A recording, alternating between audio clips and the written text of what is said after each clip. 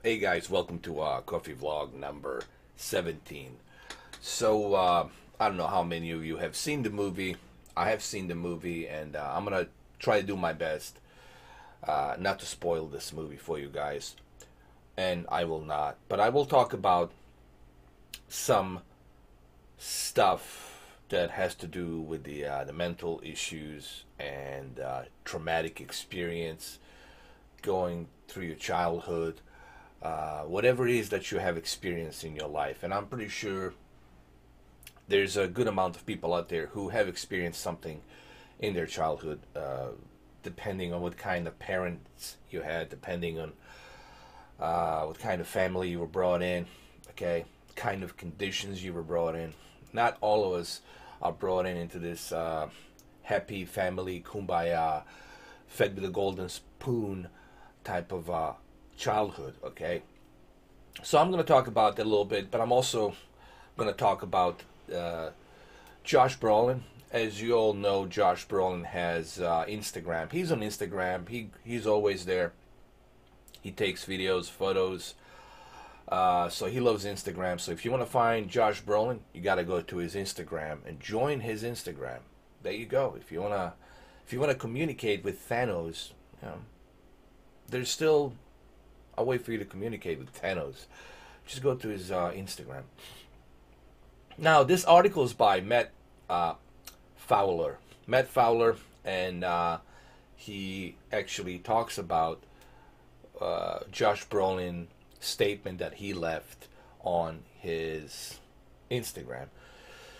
Basically, Thanos praises Joker read Josh Brolin thoughtful response to the DC film, and that's what I'm going to do here. I'm going to read what Josh Brolin said, and then I'm going to talk about the Joker movie and how I felt about that movie. Uh, there won't be any uh, spoilers, and then we'll talk about uh, the troubling experience that Arthur had in uh, his childhood, and then what led him to become what he has become. So Anyway, let's uh, go ahead and let's just click on Josh Brolin's profile. This is his profile, Josh Brolin. He's got 2.8 million followers. I don't know if he's going to be able to communicate with you. It's way too many people. um, I'm going to view this on Instagram, but I'll read it for you right here if you want. Um, let's read it. To appreciate the Joker I believe you have to have either gone through something traumatic in your lifetime, and I believe most of us have, or understand somewhere in your psyche what true compassion is, which usually comes from having gone through something traumatic, unfortunately. An example of dangerous compassion would be to say, make a film made about the fragility of a human psyche and make it so raw, so brutal, so balletic that by the time you leave the theater, you not only don't want to hurt anything, but you desperately want an answer and solution to the violence and mental health issue that have spun out of control around us. Uh, this film makes you hurt, and only in pain do we ever want to change. It is all in the irony of trauma, a fine line between the resentment, the resentment of wanting to hurt society back for raping you of a decent life. Okay, I think this is a very important. I'm trying to do it like a Thanos voice, but it's not working. Okay, this is the important part right here. What uh, what what really struck me, what uh, Josh Brolin said here, and uh, hold on, I want to highlight this because this is the important part right here that I that I think that you guys need to read. A fine line between, uh, no, let me read it for you. A fine line between the resentment of wanting to hurt society back for raping you of a decent life. Um, and that's something that uh, when you watch the Joaquin Phoenix performance, when you watch the Joker movie, that's something that you see and, and you feel you really feel for Arthur because, you know, he didn't ask to be born. Uh, he was born into this reality. Okay, he didn't have a say. he didn't have a say that, that his mother was going to be dying of, of, of illness and, and, and, and cancer. And then that, that he's going to be having problems himself and that he's going to be kicked and isolated and, and spit down and, and tear apart as a, as a human being, as a soul. He just wanted, Arthur just wanted to be accepted into society. He just wanted to be accepted and loved. I mean, is that too much to ask? That's the question we got to ask. And that's what Josh Brolin's saying. That's the question we got to ask ourselves. Uh, what happened to us as a society that we resent, that we kicked off the curve someone? You know, even if you see somebody who's homeless and he's just really, you know, begging you to give him at least something, um, automatically we jump into this resentment, into this judgment mode, the knee jerk reaction judgment mode. You know, this person is a bum, this person is, is a low life, this person is a uh, nobody, he's a trash, I'm not going to give him anything. But you don't know his history. You don't know what happened to him. Maybe he was the CEO of some company. Maybe he was a, a, a great scholar. But life turned 360 on him due to some decisions that, that he made or due to something that alternately uh, led him to go down that road. But that's what, what, what Josh Brolin is pointing out here. But let's, let's read. Uh, this film makes you hurt, and only in pain do we ever want to change. It's all in the irony of trauma, a fine line between the resentment of wanting to hurt society back for raping you of a decent life, for not protecting you, and accepting what feels like alien feelings with softening to those others who seem freakish in our era of judgment and digital damnation like kids in middle school, man, they can just be mean for no reason. And sometimes those awful little cliquey kids breed an evil in someone that rages much later. When everyone pretends we're all back to normal. When we all thought it had just manned up and gone crazy, we have a habit of hating and ostracizing and dividing and sweeping our problems under the rug. Joker is simply lifting the rug and looking underneath it. Nothing more, nothing less. It's there. And what what Josh Brolin? Look, I always like Josh Brolin. Uh, even since Goonies, uh, I I just love this actor, man. I love all of his movies. He's very talented, and I think he proved that. Uh, and what he said here is so true. You know, and Josh Brolin had you know a you know troubling childhood growing up and whatnot. Uh, you guys can read more more about his, you know, his childhood and also his brother that went through some stuff. Uh, and and what he's trying to say to truly appreciate this movie, and I'm going to say this too, to truly appreciate this movie, you have to gone through something in your life.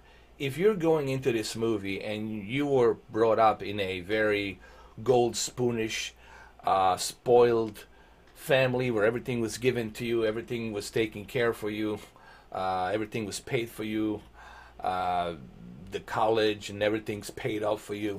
All right, if you're coming from that kind of a family and you're going to see this movie, then you will not understand this movie. For you, this will be an alien movie. Okay, you will not get it. You will not understand it because you are, to us, you are probably alien because we don't understand your life and how you were being brought up and everything's given to you, everything's taken care of for you, like double standard kind of a crap. And this is what society's having an issue with. People who are just dominating all the wealth and everybody else is just kicked aside on the curve. All right, there's a little bit of that too, okay, which I have to address. All right, uh, so if you're going in to watch this movie and you haven't gone through anything in your life, then you truly are not going to appreciate. You're not going to understand because you can't appreciate because you've never been through anything difficult in your life. I'm speaking for those 1% who are born with the golden spoon, everything is giving to them. They're being uh, pampered and, and spoiled, and they got everything for you, you're probably going to compare Heath Ledger Joker to this Joker. And this is why some of you are not going to understand this movie. This movie is really dealing to what makes someone become. Well, even, the, uh, you know, it's funny because Thanos is talking about this.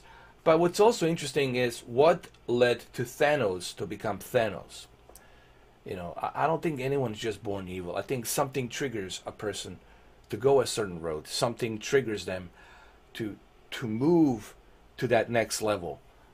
And there's an old saying, you know, what we manifest in our society, it mirrors back into our faces and it backfires into our faces because we don't realize what we're doing when we are isolating ourselves, when we're dividing ourselves, when we are picking on certain people just because because of the way they look, because of their physical appearance, that it's not their fault. You know, maybe they had a you know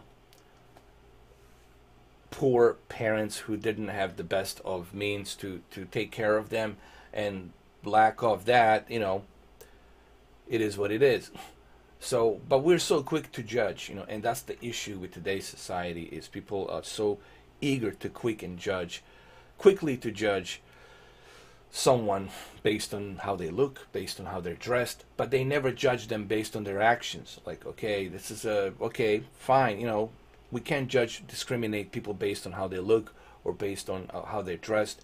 It's not his fault. He's trying, you know, he's trying to fit into this world. Like I said, you know, we are not asked to be born. We don't have a choice. Uh, we were just brought into this reality. So what uh, Josh Brolin said here, it's really uh, it's really amazing and very touching, and uh, I'm glad that it's getting half a million likes.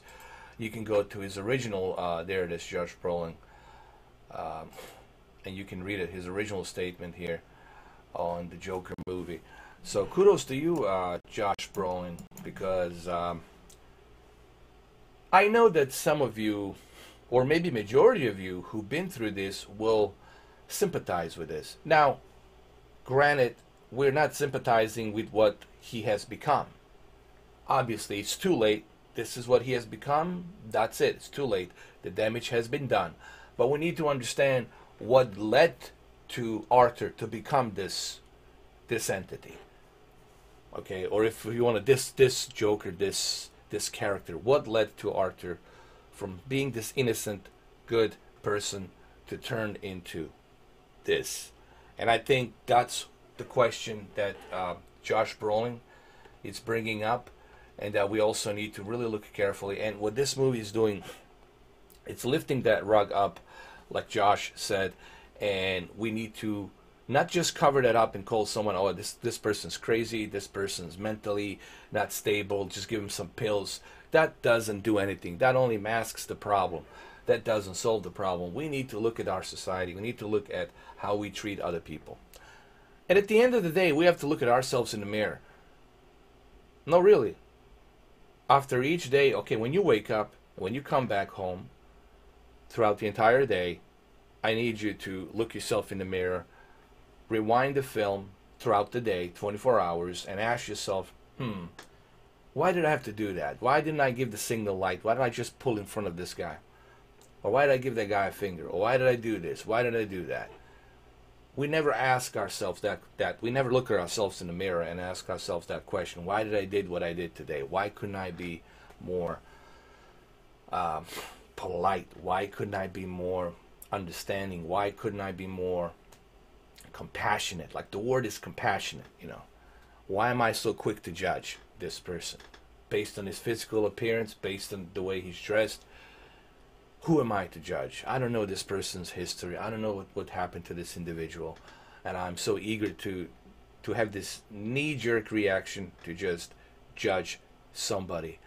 So um, kudos to Josh Brolin, man. And uh, like I said, I, I, like I like the sector and what he said here. It, it's so true.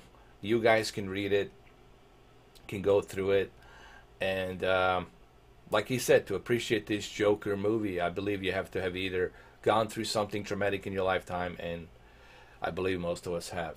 So, uh, I when I went to see this movie, it really kind of hit home because uh, I, I I've gone through some of the stuff that that that I see in this movie. You know, I had a lot of traumatic. You know, especially the war in Bosnia. You know, uh, that was that alone was traumatic. Uh, five years of that. You know, but it you know this is something that I'm glad that this movie exists, and I'm glad that it's there, and I'm glad that it's getting a lot of uh, attention, and I'm glad that it's making a big buzz, and and dominating the box office, because this is something that that, like Josh Brolin says, we need to we need to carefully examine, and we need to really have a serious talk about this you know, you can't just give someone pills and thinking that if you give someone pill, that's gonna solve the problem. No, the drugs don't solve the problem. Look what happened to Heath Ledger, uh, taking the pills and he OD'd, he died. Uh, allegedly, that's that's what was the story. Uh, I'm just simply trying to say that we as society, we have to. I think this really comes down to us as a society at the end of the day, because the movie I've seen the movie. I'm not going to spoil it, but the movie deals with society and how society treated Arthur. You know, and and when you see the movie, you, are gonna you're gonna feel bad for him in in the beginning. You're gonna say, well, well, Jesus Christ, why are people being so mean to him? You know, I mean, what the hell has he done to anybody? You know, he's just trying to, to fit in. He's trying to, to, to be noticed that he's trying to be a comedian. Uh, he, he wants to be creative. But people are resenting him. People are kicking him off the curb. You know? Uh, they're not even giving him a chance. You know, that's the thing. You know, he's not given a chance at life.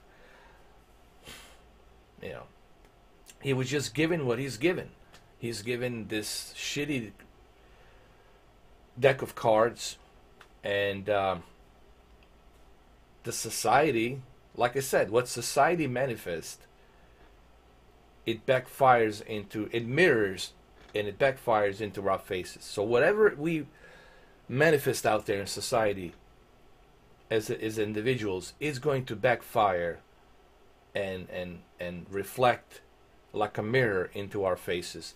And I don't know uh, I know I even talked about this. I talked about this on my previous vlogs.